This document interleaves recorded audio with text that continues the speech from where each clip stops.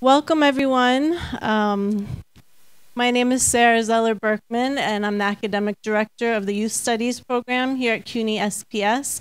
I'm so happy that you guys can be with us here today um, with, you know, what promises to be an important and also engaging with Michelle Fine. It is always engaging, you know, good conversation about really how you can use research to support activism or research as activism. Um, before we jump into the day, I want to give you a little bit um, of a context of the broader program that, that this talk sits in and also um, the context for this series that we're doing. And then I'll, get, I'll give you a little brief bio of Michelle and then we'll jump into it. Um, so CUNY SPS, we have a 30 credit master's program, and then we have a 12 credit advanced certificate. And our program really caters to um, youth workers, frontline, as well as supervisors, um, program managers, activists, advocates, um, and people come from a real broad range of spaces in, in which young people are. So we have um, people that work in in after school programs. We have, hi, welcome. we have people that um, that work in kind of alternative to incarceration settings. We have people that are in the CUNY system, um, artists, activists. It, it runs the gamut. We have, I'll just mention five of our major commitments to our students. So uh, we really think about marrying theory with practical skills and competencies. Um, we think about contextualizing things in like a, in their historical context and also really um, bringing promising practices um, to our students. We we are committed to um, intersectionality and looking at how race, class, gender, sexuality, immigrant status, etc., impacts young people's development, but also how they're perceived. Um, and we have a participatory and a strength-based approach, and we also we also um, have a very explicit commitment to social justice. So we think about youth development in the service of kind of upending status quo for with young people, not necessarily fitting young people into things that aren't working for them. Um, so that's a little bit about our program. You are I'm not going to tell you about our classes, but you're kind of part of one of our classes. So we launched a new class this um, winter session. It's an elective on community and youth organizing, and Professor Bandelli is our um, professor for this course. It's an intensive, and part of this intensive we thought was too good to keep to ourselves. We wanted to really open it up to the field. So we had a talk about um, grit a few weeks ago and really moving from focusing on how to change young people to kind of how to do systems change in partnership with young people. Um, we had a amazing talk with Sekou Odinga, who um, is a former is a Panther and former political prisoner who really talked about the connections between our past and, and the Panthers' lessons learned and our current youth movements. Um, and today we are so thankful to have um, Professor Fine with us here to talk about um, how you use research and methodological approaches that really um, promote our social justice aims. Um, I'm going to give I'm going to give a little bit of a bio, and this will not do any justice to Michelle. So, so this is a quick and dirty. Michelle Fine is a distinguished professor of critical psychology, women's studies, American studies, and urban ed at the Graduate Center. Her primary research interest is the study of social injustice. When injustice appears as fair or deserved, when it is resisted, and how it is negotiated by those who pay the most serious price for social inequities. Um, she studies these issues in public high schools, prisons, with youth and urban community, using both qualitative and quantitative methods. So I'm also going to mention Michelle is very prolific. This book is the last of, I don't even know how many, many, many, many, many, um, and countless articles. I'm going to tell you that one time I wrote something with Michelle, and by the time I got home, on the train, she had sent out 15 pages like that. She's she's amazing um, with her writing, but also because she does her work in this deeply participatory way, she's had an incredible impact on individuals and also communities and policies. Um, and she's my mentor, and I'm so thankful to have you here today. So, Michelle, welcome. Thank you. Thank you, Sarah. How's everybody? Yeah? We're on stolen land in a crazy nation, in a deeply unequal city. We've got young people who have been taken from their parents a couple of miles from here. And we've got 800,000 people on furlough, just to name the issues that are on the top of my HuffPost list. Um, so I'm gonna I'm gonna tell you a little about who I am, the work we do, and then I want to open it up to a conversation about how you might think about participatory practice in your own work. Um, uh, uh 30 seconds on biography. So I am I am the young. Uh, both my parents are immigrants, and I. My mother was the youngest of 18. Uh, Orthodox Jews in Poland, yeah, whatever.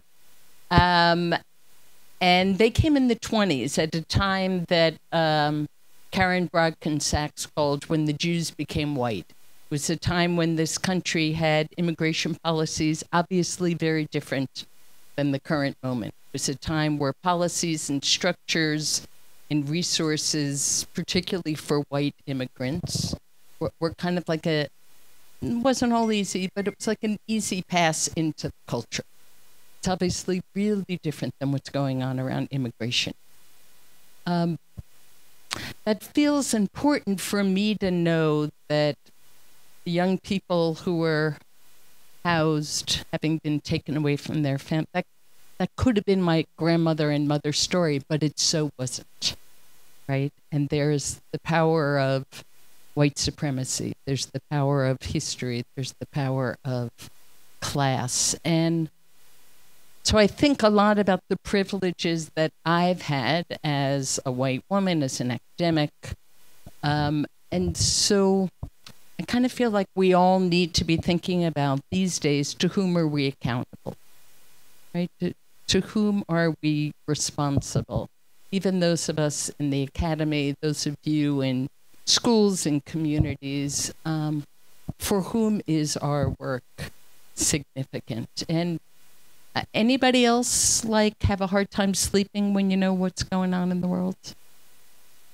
Right? It, it, it's actually it's hard to walk from 35th Street here without seeing so many people and not knowing do you give money, do you give food, do you right? So so there's a way in which feels really important for us to take a deep breath for the work that we do, but the movements that we're attached to, think through to, to whom are we accountable.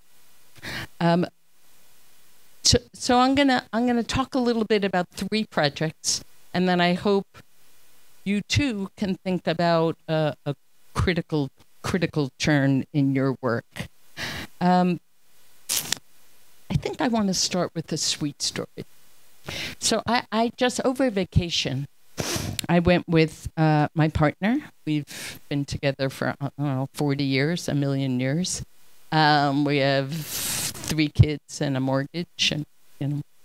Uh, he teaches at St. Peter's University as working class students, first gen students. So we took 12 of them on a trip to the Southwest. It was a course, an anthro course. And we were doing indigenous lands, anthropology, geography.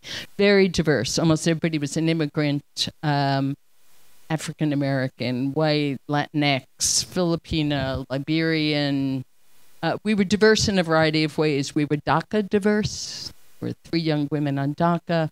We were hijab diverse. Two of us were hijab. We were neurodiverse. Two of us had those fabulous brains that know everything. Anybody lucky enough to know someone like that? Um, and we traveled around the Southwest in a van. And when we would show up in restaurants, we were clearly not from the neighborhood. And we were laughing. We all got along real well. And we had a Sunni and Shia, and they had never met. a Sunni and a Shia. So, so it was like diverse even in ways that we didn't. Anyway, I was the driver. They were extremely fun. It's really cool to travel with working class kids. They don't complain right? Have you ever have you ever like traveled with really wealthy kids? It's like a different story. Um, and they like help when the car gets stuck in the snow and they push the van. Anyway, so we ended up in in uh, yet another white restaurant in Cortez, Colorado. And we're all eating and drinking and not drinking, drinking, drinking and sharing. And a big white guy walks in with four young people and he kind of sits with David and me and he introduces himself. He's a dairy rancher in Texas. Um, he hates the EPA, the Environmental Protection Agency, because they make him use clean water. He's telling us this story. And then he looks at the young people and he says, So who, who are they? And David says, These are my students. And the guy, not really being obnoxious, I think, said, How do they afford this? And David said, Well, they go to school full time, they work full time, they're activists for environmental justice, for Black Lives Matter, against Islamophobia, and around immigration. And their mothers sold a lot of empana- extra empanadas in the last few months. And this guy grabbed $200 out of his pocket and he said, I'm buying you all dinner. And it was like a weird moment so that night, I sometimes do creative nonfiction writing. So that night I was writing and I wrote a story as though I were him, like he had never imagined we could be a country where we all dared to sit together and, and engage in differences and solidarities and share straws. So I offer that because that's kind of the spirit with which we do the work that we do. It's kind of the spirit, it's the fumes upon which CUNY survives, believing in what could be when it's so clearly in a world that is not. This man is going to save my life a lot. I'm good at talking, I'm not so good at that. Um, and I'm not always that good at talking. Um, so we engage in critical research, we being the Public Science Project at the Graduate Center. We're a group of activist scholars who do research alongside and with communities and activist organizations in order to generate, to appreciate the knowledge that already exists in communities, but to generate research for social change, for policy change, for organizing work, for popular education, for theater, right? So revolting is like a joke because it's awful and people are revolted. All right. So I just do that, right? Now I'm good. You, you could go home. Hey, you could retire. So, in a moment of state violence, betrayal, and sadism, we ask to whom are we accountable and with whom are we responsible? I could tell you about all the people I kind of sleep with W.E.B. Du Bois, Linda Smith, Vine Deloria, Jane Addams. These are scholars who dare to imagine the world could be different and did their resources, their intellect, and their movements together. Um, but I won't. But I'm happy to answer. So I think a lot these days, or we think a lot about solidarity studies. What does it mean, particularly for those of us in public universities, to ally ourselves with movements for change. Does that make sense? Rather than research on or about, research alongside with and uh, and for. So the Public Science Project is a space for critical participatory policy work. We have some simple notions. No research on us without us. So we never go into a community and assume we know. At this point, mostly communities are saying to us, Can you help us do some research on aggressive policing in the South Bronx or the impact of college and prison or um, foster youth at CUNY? Right? All examples of projects we've worked on. So the research is always designed by teams that Maria Torre would call contact zones that are comprised of people with knowledge of the issue because they have paid the most severe price for injustice, and those of us who are traditionally trained in research. Does that make sense?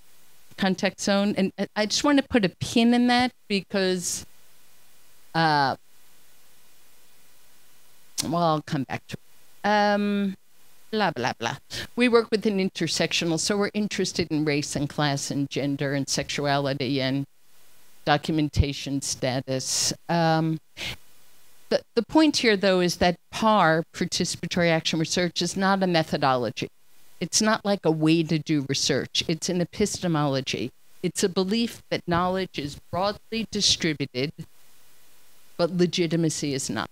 So it's a recognition that I'm not the expert when we're studying aggressive policing around Yankee Stadium. I might have something abuse, but I should never be doing that research on, by, or for. Always with. Does that make sense? So the most, um, in some ways, the most offensive part of participatory research to my more traditional colleagues is that we trouble the notion of who's the expert. Because we think the people who have most experience in justice are the experts, and we think together we can cook something pretty interesting. Right? Some of my colleagues, Yasser Payne, if you're interested, um, Yasser studies street life. He's a guy who was raised on the streets on 125th Street. And for him, his work is not so much in a contact zone of very differently positioned people. He's interested in working with other men who have led a street life to study street life. Does that make sense? Right? So mm, that's, a, that's a, just a debate worth having. But he too like all of our projects, when he was studying street life in New York, he invited a group of street involved men to the graduate center. They were paid. Together, they read how the Academy talks about men who lead a street life. What does the Academy say about men who lead a street life?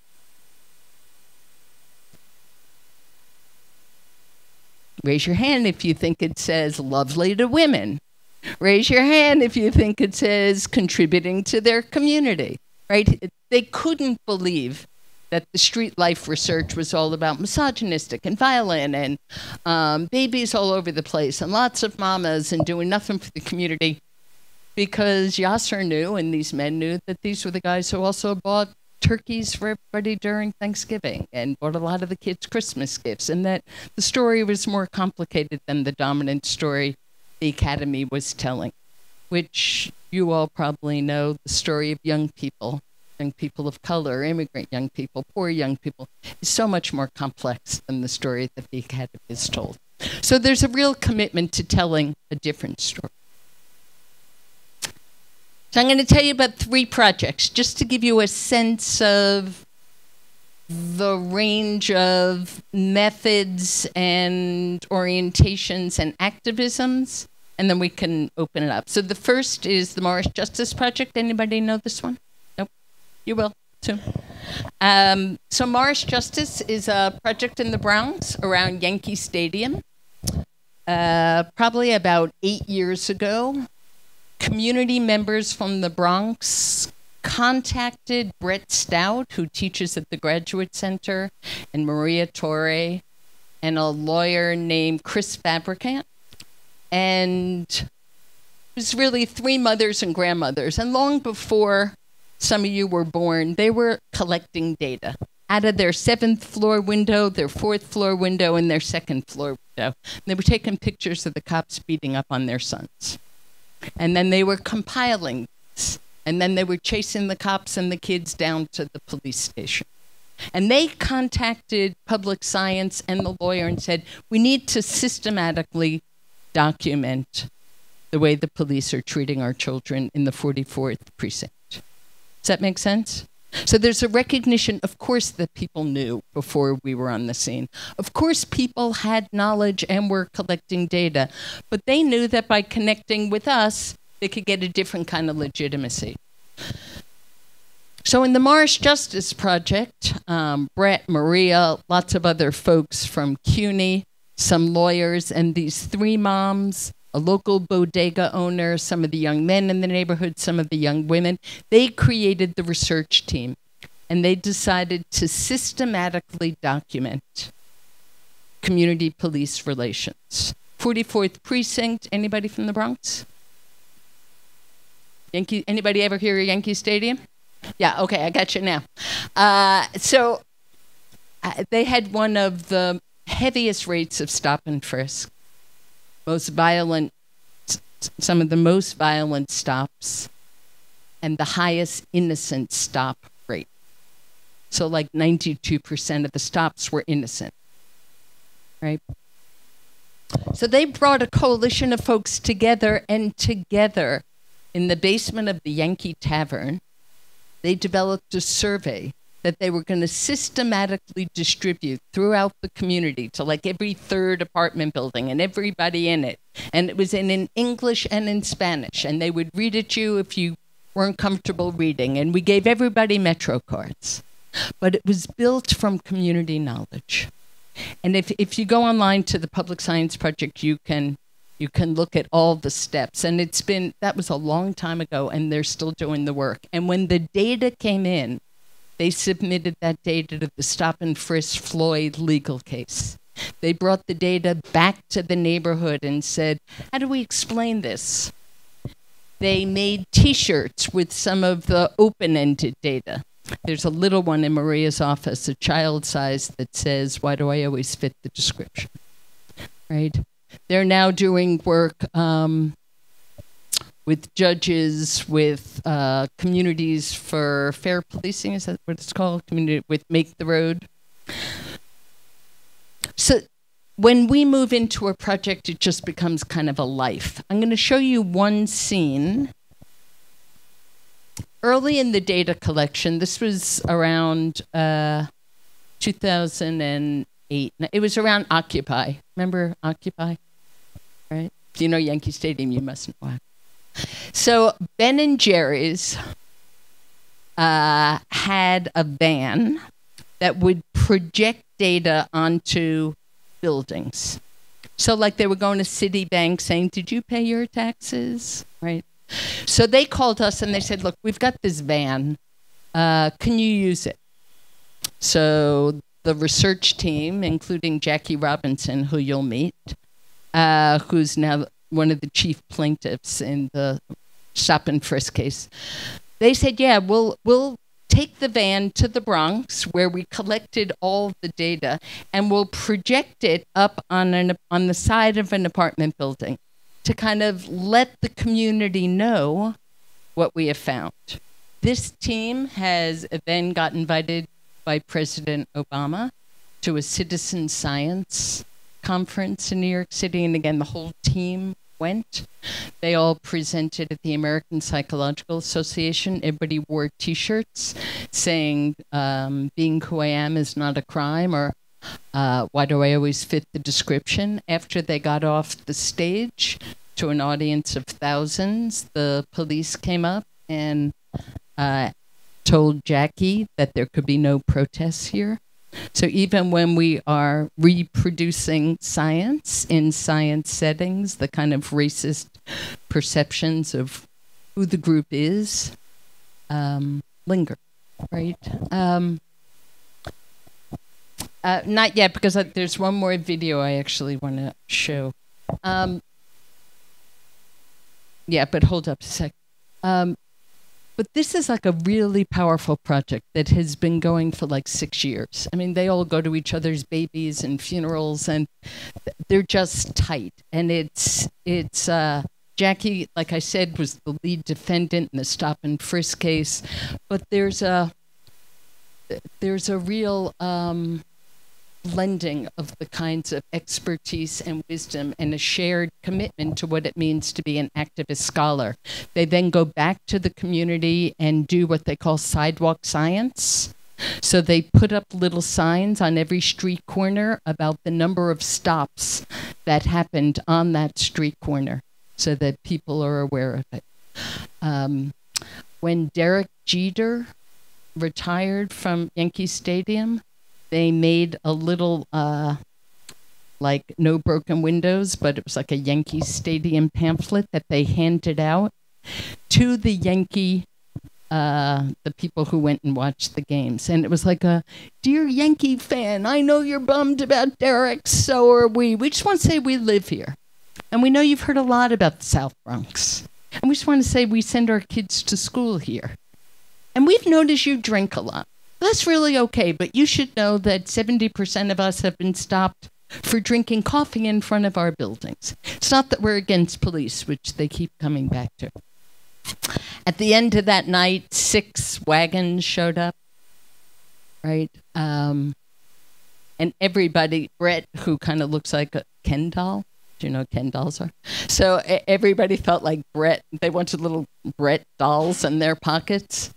Um, so Brad and other folks talked to the um, talked to the police, and there was a retired correction officer who was like saying to the police, "Why are you bothering them? They're like educating the community." Um, and then afterwards, everybody was laughing. Not that the police van showed up, but that wasn't the surprise. But they never left empty before, and that was just clearly because there were a lot of white people, right? That we could bear witness, and so I offer this as, as one instance of critical par work. It is a long struggle. Stop and frisk is no longer called stop and frisk, but there are all new ways of stopping and frisking and policing black and brown bodies, as you all know if you work with young people better better than I do. Um, so it's a, it's a long struggle, but this is one of those where we've been in it together. I want to give you an example of doing critical par work with young people and how we train young people to be researchers. It is often the case that when we say to young people, So you're like the experts, they look at me like, Yeah, right. right? They don't quite believe that that's true. Um, but then we might say we're going to create a survey of New York City youth. And all of you who know a lot about like the foster care system or the homeless shelters, you take that expertise over there because you're going to create questions. And those of you who know a lot about um, juvenile justice or PINS, please take that knowledge over there. And everything that feels like shame right now, you have to turn that into knowledge because we've got to create a survey for other young people in New York City. And your experiences are the knowledge that are going to create the opportunity for other young people to tell us their stories. So we did a, a, citywide youth survey created by young people, and they decided that they wanted folks to know how they came to be youth researchers. There's something magical in all of these projects, and we've done them now for 25 years, that turn when suddenly they realize, like, you're serious, that you're going to take my knowledge seriously. Um, I want to give you one more study, and then and then we can wander through. So we did a project with uh, Muslim American young people, and I'm just going to show you. I, I, we just simply asked them. This was just post 9/11, and now we're doing an update. Just draw your many selves. That's how we started the project. We gave paper and markers and said, draw your many selves. Your student self, your child self, your sexy self, your athletic self, your religious self. Um, and we ended up with hundreds of what we called identity maps. This was a group of kids who, prior to 9 11, were just mostly um, middle class, white ish folks in the United States. And then post 9 11, they were suddenly told they didn't belong here. So it was an abrupt rupture in their sense of belonging to the moral community called the United States. Different than what has historically gone on with African Americans or, or Latinos in this country. Here, there was a sense of deep inclusion and then a, a, a rupture that said, you don't belong here anymore. Not unlike the Japanese kids who were interned during World War II. We found that when we asked them to draw their many identities, Most of them drew images like this, particularly the young women, where their American lives and their Muslim lives were woven together. Where Islam was very much at the center of their life, but a part of a larger um, flowering sense of self. About a third of the kids drew maps like this I live in two worlds, kind of like what Du Bois called code switching or moving between worlds.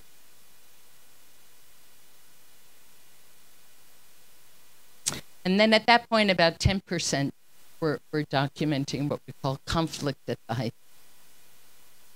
This being the most dramatic. It's a 16 year old kid who said, I feel like half of me is American and half is Muslim. And I said, What are the tears for? And he said, The tears of racism. We're, we're now interviewing Muslim American kids who have grown up in Islamophobia here, right? And it's not a shock, it's not a rupture. And, um, and they're very critical, very activist, and very engaged in solidarity movements. They identify as people of color, which I just promise you was just like not such a big thing in 2002. But now they identify as people of color. They're in solidarity with Black Lives Matter, with spoken word, with queer youth organizing, which is a kind of beautiful consequence, but worth noting what happens when a group is told you do not belong in the country. And so young people are helping us figure out how to use this in lawsuits, in organizing campaigns, and in school um, and in school curriculum. And there's a vibrant online and in-person queer Muslim.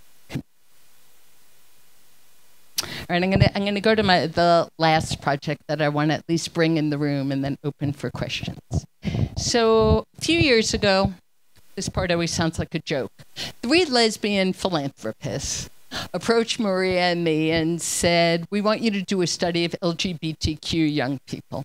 And we said, You know what? We don't really do like a population because we're interested in dynamics like school pushouts or um, mass incarceration or uh, immigration struggles. But we don't. And they said, Well, there are two things that we want you to think about. Did you ever notice that the activists in most youth movements, dreamers, Black Lives Matter, prison abolition, education reform, that the activists are disproportionately of color and identify as LGBTQ or gender nonconform, which is a kind of, I don't know, an interesting finding for us all to think about, right?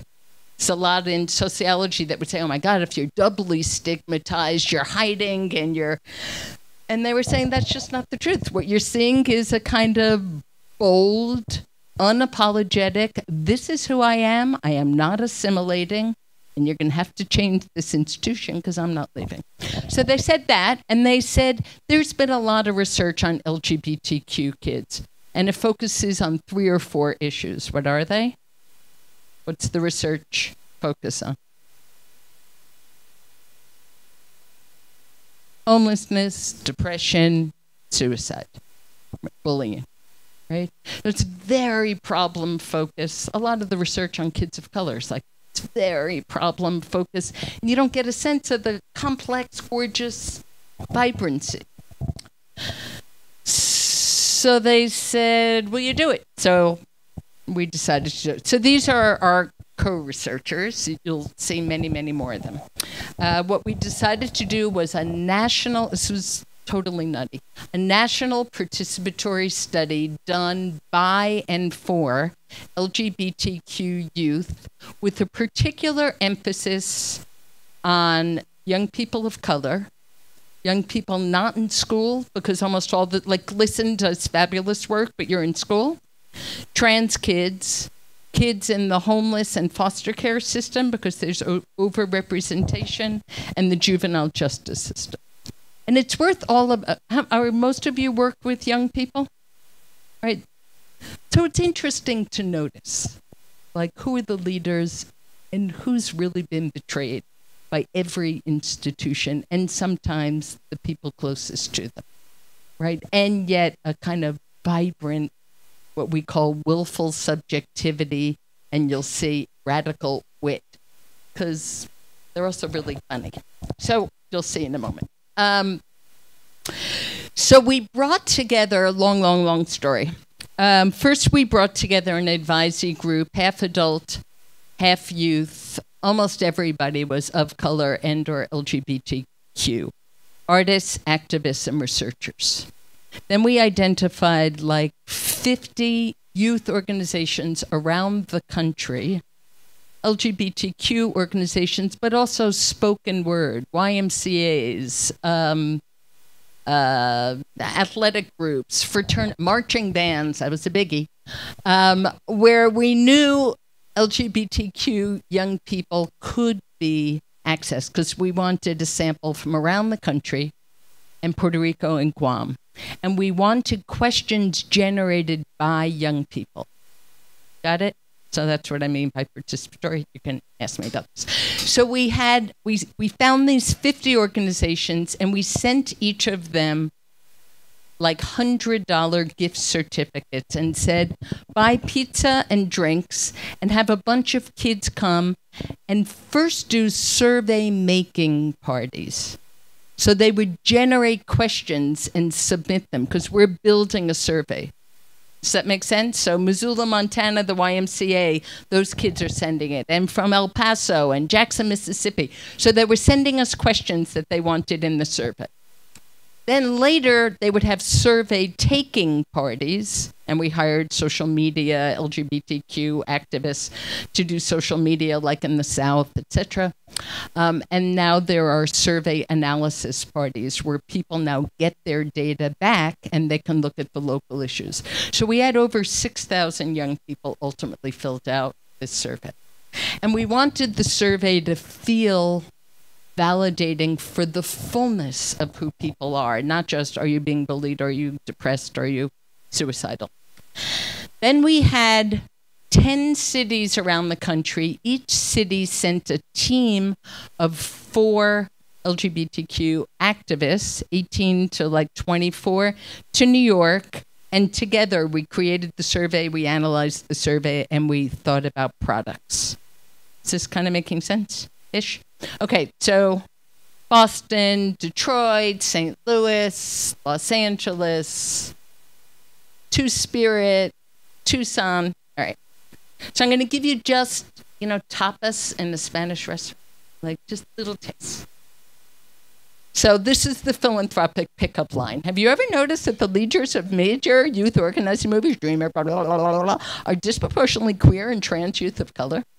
So we had Oh, this is why our project is cooler than others. I'm not going to do that. So, but it's it's a national study by and for young people, disproportionately young people of color, trans, um, every state in the country, and then we had ten local projects as well. So we had survey taking parties. So we finally got what we call the bad draft of the survey, and that's what we always call the first draft. The, and it was a combination of like standardized items, but lots of youth created items that had been submitted from around the country. And we decided to invite a group of young people in New York City to kind of pilot it and tear it apart. That's what we always do. Anybody work with young people? Have you noticed that they're shy about tearing things apart? You've noticed that they're shy about that? No, I have not noticed. They seem very eager to tear things apart very eager to tell us what was wrong with the survey. And they did. So somebody brought their mother. We expected 40 people, but everybody started texting each other. Um, so about 200 people showed up to a Korean deli on 45th and Lex. Right, we were on the second floor of one of those places that kind of smelled like urine and chlorine, and you know the the top floors of those delis, and they just kept coming. And Maria and I were like running up and down the steps with rye bread and orange juice, and, and they were all taking the bad draft and critiquing it, right? Um, and one young person said, You know, I've never been with this many young people like me without going through metal detectors. It was just a very so the first thing everybody did was put up a sign and we filmed it of what do you want the world to know about LGBTQ young people. And then they took the survey. I was in one room with a group of young people talking about difficult issues and should we include how do we how do we um, phrase things on the survey? Like now cis and trans and queer is like but this was a few years ago and i didn't know if that like little gay boy in utah who thought he was the only person in the world would know what cis and would queer offend anyway so we were having those conversations And I said, you know, we're going to have a list of stressors because we want to see what's stressing people out. What what kinds of things should we include? And a very gender fluid young person with a baseball cap said, you know, sometimes when I'm stopping frisk and they're patting me down, um, and they realize I have breasts, the cops beat the shit out. Like, can we put that on the survey? And then this other young woman said, You know, when I walk down the street, the cops flirt with me. I'm about to curse, so if anybody's going to freak out. Um, the cops flirt with me, but when I'm walking arm in arm with my girlfriend, they say, I want to fuck both of you. And then all the other kids are doing this. Like, that's what happens. Or if I'm if I'm like rubbing my girlfriend's nose in school, the vice principal say too much PDA. You all know what PDA is? How did you all learn that? Anyway, um, and meanwhile, the straight kids are like having sex in the corner and nobody's saying anything to. So, so it was fascinating, and we decided we need a lot of open-ended questions. So we ended up with over 6,000 kids filling it, and it was amazing. 57% identify as trans or non binary, 40% youth of color. The young people really wanted to know if, if they considered themselves religious. Not a question I ever would have included. But it was so interesting that a quarter considered themselves religious, but were so offended that their churches or mosques, religious leaders disregard their lives. and they really want you to know 40% of them are in a relationship. They thought that was more important than any of the other demographics. So the first question first question was just give us five words to describe yourself right? And and then we create these crazy word clouds, but they're gorgeous. They're like I'm a nerd, I'm a tennis player, I read all the time, I'm a musician, I'm queer, I'm an activist, I'm a bookworm, I'm neurodiverse, right? And it was just an invitation to say, so who are you? Tell us all the stripes inside you. And then for every demographic question, and I highly, we've been meeting with lawyers and social workers, when you're going to ask someone their gender, their race, there's, just start with an open ended question and let them describe. Then you can say, all right, if you have to squeeze yourself into a category, which one are you going to choose all that apply? But there's a respect in saying, tell me who you are tell me your and and we got i don't know 50 150 genders and i don't know what they all are. It doesn't matter. Like when we deal with um, legal aid folks and foster folks they're sometimes like well what if they write like demisexual? It, it doesn't matter if we know what it is. It's an invitation to say give us your full self and i'm going to shove you in a box. So help me right? And and then we'd have big fights. So if i'm a trans man am i not a man? Uh, you know I would say this is an awkward moment around these categories. That that young people are blowing open categories at exactly the time where lawyers and researchers and all of our agencies are still shoving them in boxes. And we've got about five more minutes to do that because they're not going to tolerate the boxes that we're creating. Um, I will tell you more about that argument in a moment. I don't know, we got scores of sexual orientations. They were really mad that asexual was not listed. So when you do your own work or put together your own, it's a big one. They really wanted us to know that they're more than a collection of struggles. So, one of our commitments was to refuse a damage centered inquiry. Says a long history. Um, but basically, we shouldn't be using language like at risk or like we don't want to define people by what we think they don't have or whose standards are we comparing to so they really wanted to look at dispossession the ways in which people have been screwed over and powerful resistance right so they didn't want to sugarcoat the oppression but they didn't want them to think they were only sites of oppression. All right, so I'm going to leave you with some of these, although. So, in the middle of this crazy survey that really is saying, are you depressed? Have you killed yourself? Are you, do you, you know, are you with family? Are you, with, how are you with the police? We said, if you made a banner for yourself, what would it say? And I'm going to ask you to read aloud your favorite ones. And in the parentheses is how they describe their sexuality, their gender, and their race. All right, somebody read.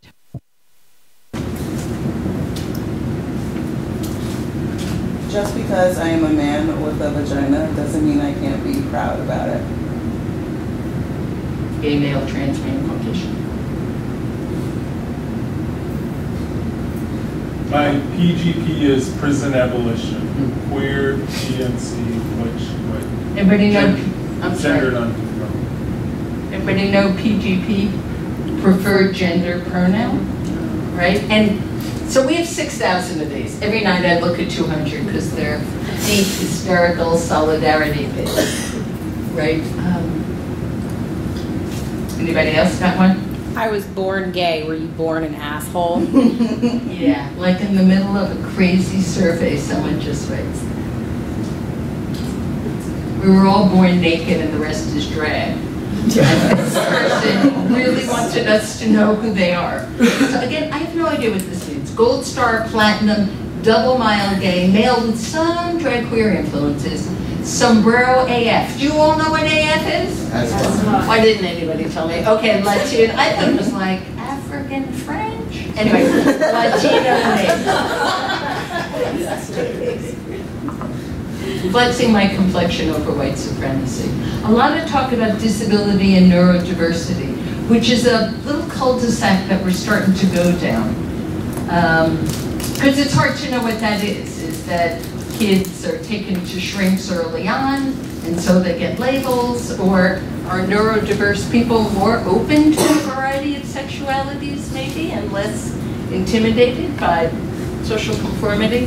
And then there are just some facts, like lesbians have more orgasms than straight women. Pansexual, primarily woman, female, white, but my father is mulatto and my grandparents were black. And then it's just great to have these because, like, how am I still here? Could feel like, oh my God, depression. And then their self-description is blackity black, I'm black y'all. Anyway, so we've got a lot of those. I'm going to tell you three things, and then I'm going to shut up and open to. What time is it? Is it tomorrow? All right. Um, I will tell you that getting treated like shit has very bad consequences for your mental health. All right, so the more the more precarity you have, the more cops, homeless, negative interactions in school, the more of those, the worse your mental health, the higher your suicidality. Duh, right? You all know. Um, on the other hand, when you, sorry, on the other hand, the more discrimination, the more activism, and the more activism, the better your mental health particularly for kids of color, who seem to metabolize discrimination to activism more rapidly than white kids. So it's not to say it doesn't have an effect.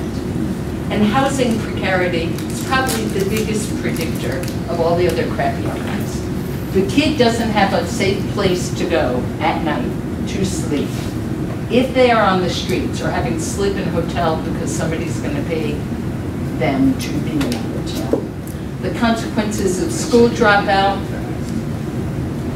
consequences of school dropout, mental health problems, and getting involved with the cops go way up the moment they're severed from a safe home. And the likelihood of selling your body for money goes way.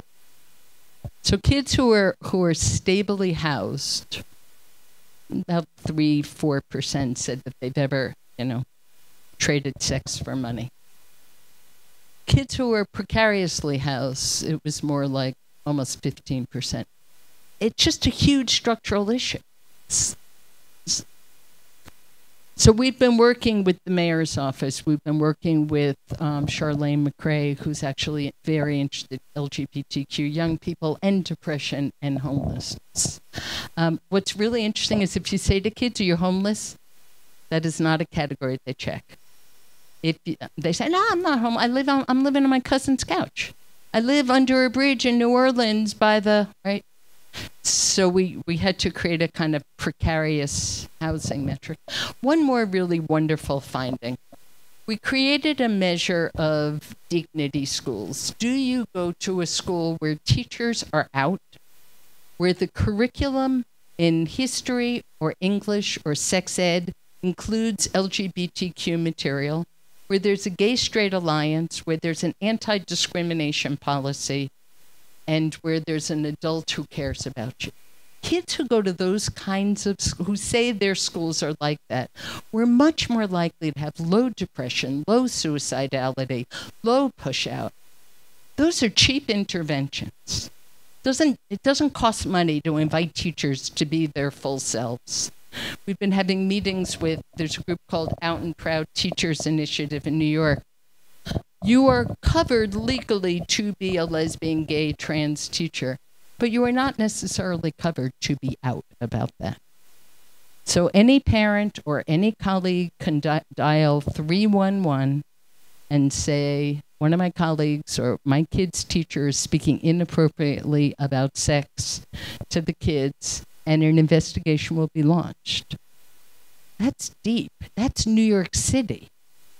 Kids in the South very few of them had out teachers, and therefore the school pushouts, the bullying, the mental health, the suicidality was much higher. So we can make a difference on the basis of very little. I guess I would just leave you thinking about activism as a healthy response to discrimination and how little it takes to make young people feel well. Thank you. Questions, thoughts, blah, blah, blah. Questions or reactions or thoughts or worries or yeah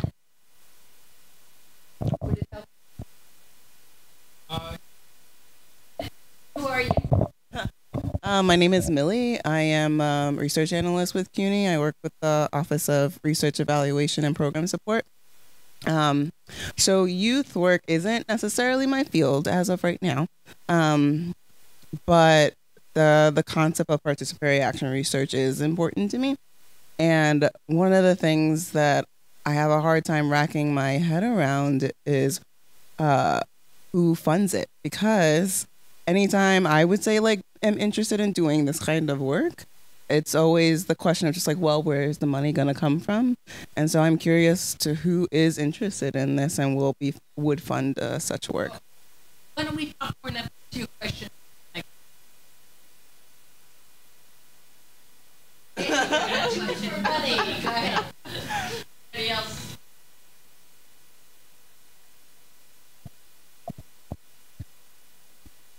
So, as someone who also works for CUNY, tell me how you do this kind of research and work within the IRB structure.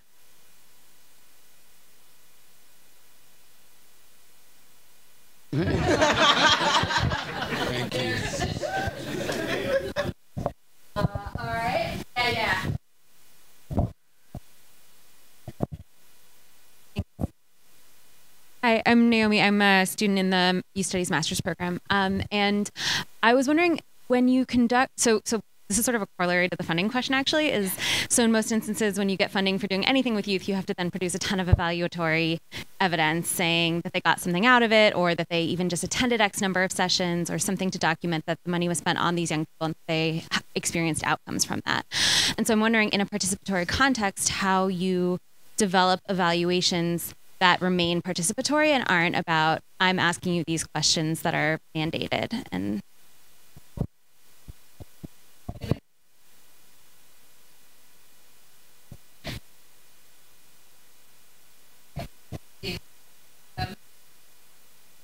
and I'll tell you a CUNY research story. Remember when there was Conrad Hilton money for foster youth at CUNY? Yeah. So there was money from the Hilton Foundation to look at foster youth at CUNY. Anybody work with foster youth? So, like, I have a foster son. I, yeah. So it's it's a very complicated system. So we decided to do a participatory project with. So we just took that money. There were two other groups who just did big data analyses of foster youth, but we had a team of foster youth working with us, and um, I will tell you that every time we've gotten money and we say we're, we're going to switch things up a little, We- We'll do a big quantitative study, a small one, a qualitative, but the expertise lies in our pooled knowledge and is really held by the people who have most experienced the injustice, and we're going to pay them. And that's how we use the money. And if you can't give us money for that, why should I get paid to about foster youth when the young people who are good enough and people don't often say no to that. If they're like funding social justice stuff and then they hear you're going to employ formerly incarcerated folks or kids, they find the nickels for that. Um, what was interesting on the foster youth project is because we were working with foster youth, at CUNY there are dorms, foster youth dorms, which is a, a big deal. Um, but if kids do poorly in class, they get thrown out of the dorms and then they lose everything. And it's like one more deeply contingent love story. Like it's not forever love. It's if you're a good student and you stay, then everything you get your food and then you get your money and then you get your whatever. But you screw up in your classes and then everything, and then you're back out on the streets. And it happened to most of our co-researchers. And we had this meeting with CUNY and with the Hilton Foundation. I'm not blaming you at all. I don't know why I'm pointing to you. But we said, are you investing in the kids or just the student? Like if you're investing in the kid, you know there's going to be a screw up. I have a foster kid and I have two C-section kids, and there's always screw ups, right? And we catch our kids or we catch people we love. Foster kids, something's going to happen, right?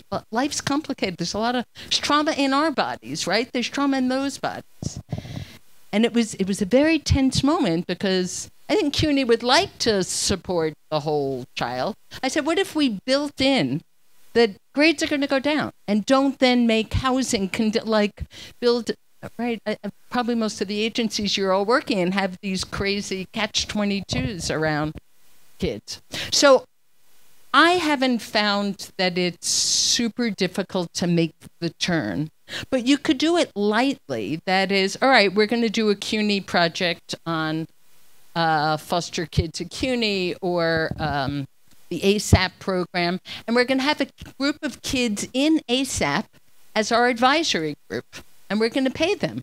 And they're going to help us figure out the questions to ask and how to analyze the data and what kind of products of use to create. Most of the, the projects I show, showed you today, I mean, Marsh Justice, I think they had $20,000. That was it. And it's been going for five or six or a hundred years. As the academics don't get any of the money, we give it to the community, but build.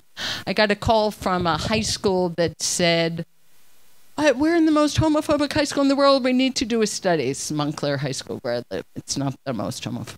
Um, so I walked in and there were 30 kids, and I said, and they were all telling me the stories and very diverse. I said, "All right, we're all going to create a Google Doc." Monday, Tuesday, Wednesday, Thursday, Friday, 8 to 9, 9 to 10, 10 to 11.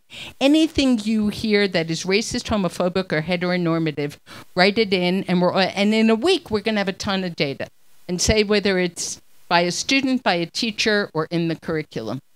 It took no money. And at the end of the week, we had a ton of data. And it won't surprise you what other kids say. You can imagine sometimes what teachers said is a little disturbing.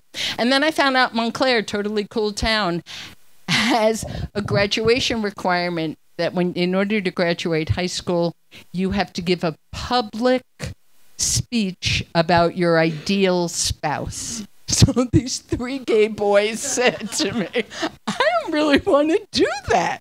So it was like, uh, you know, let me just, uh, we- we're going to get rid of that. But then, so we got rid of that. They created zines from these data. They put up posters all over the school. They handed out a first year orientation packet. And the kids did a professional development for the teachers union. And that took like nothing. And it was transformative for their knowledge to be at the center. So when you get funding, call me and I'll help you figure out the language. But I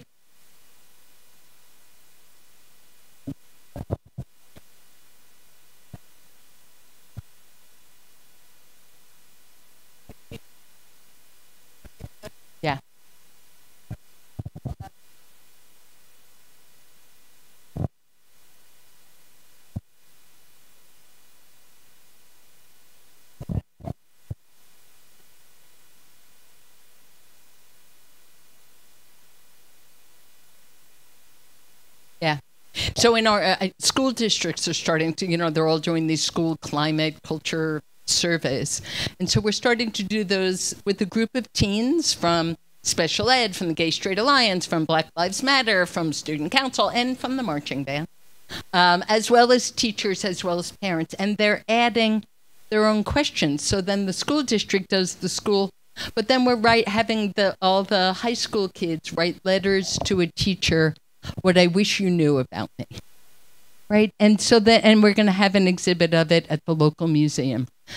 There's a way you can just turn the notion of whose expertise is fronted without sacrificing, I think, the quality of the work. And I think, yeah. So we'll we'll continue talking. IRB. Um, do you all know what IRB is? These ethics boards. So I used to be a real like have a have a crush on the IRB. Like I thought, so important. Nuremberg, Tuskegee, so important that we not be unethical. And then IRB, like one weekend, IRB went somewhere and became like covering the institution's ass and not the ass of right and not the communities. So I grew a little um, cynical about it. Um, so we figure out ways. It's actually it's it's not that different than regular research. The difference is related to your questions. So we don't want our co-researchers to be treated like they're subjects. If Sarah and I do a project on both your, I'm not going to ask her at the end. Are you better? Are you still pregnant? Are you still up? Like we're like we're not doing that when you turn co researchers into subjects, you've degraded the collaboration.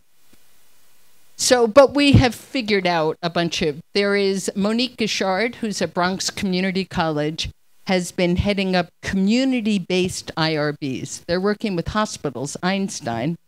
And so now the community says before you do any research, because you've already gathered all my grandmother's teeth and blood and kidney, and you said you were studying diabetes, but really I saw that you're studying schizophrenia. We want to know what you're doing with it. So these issues are popping up. There's a Native American tribe in Arizona where that actually happened. They were told it was a diabetes study.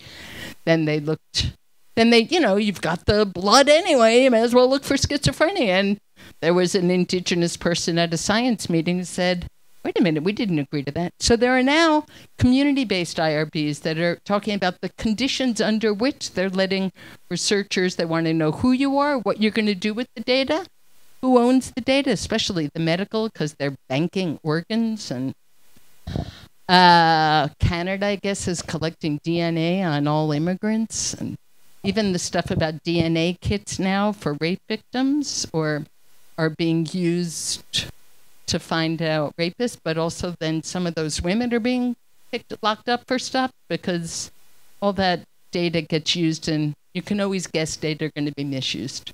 So the question of who owns it, who decides how it gets published.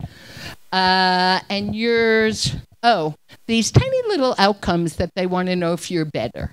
So there's the cynical me and then the me that says, so let's queer that. Let's like, let's play it. So for instance, um, we do a lot of participatory evaluations in, in New York and throughout the country because of the Violence Against Women Act. Domestic violence groups get money based on the number of um, orders of protection and calls to the police. So a group called us and said, We're working with immigrant women undocumented, Orthodox Jews, Muslims, African women who are fighting with co wives. We're not calling the cops. None of these groups are, they're not going to use those legitimate metrics, uh, those legitimate um, strategies that are only going to be used against the women. So, can you help us create a participatory evaluation to document what we do do? And we often do that with our youth projects. And people do get statistical skills, they get research skills, they decolonize what constitutes science. They think hard about privilege and not just, oh, how sad, but wait a minute, who's making money?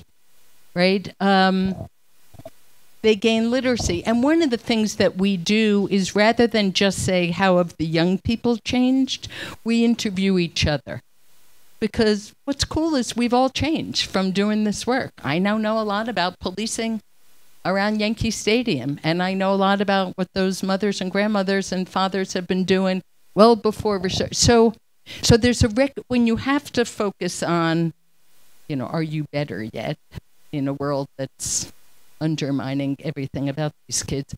We do it as like a wraparound. Like, what are the ways in which we've changed individually, collectively, but the adults and the young people? So that it's never about um, me turning you into a specimen to prove that my project was a good thing.